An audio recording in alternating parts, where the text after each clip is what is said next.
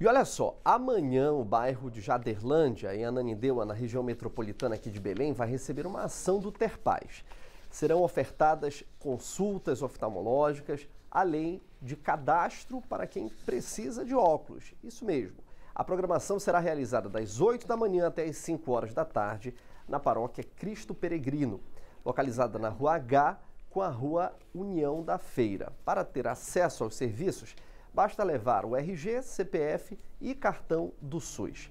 A ação é uma realização da Secretaria de Articulação da Cidadania, SEAC, em parceria com a Fundação Para a Paz e Polícia Militar do Pará.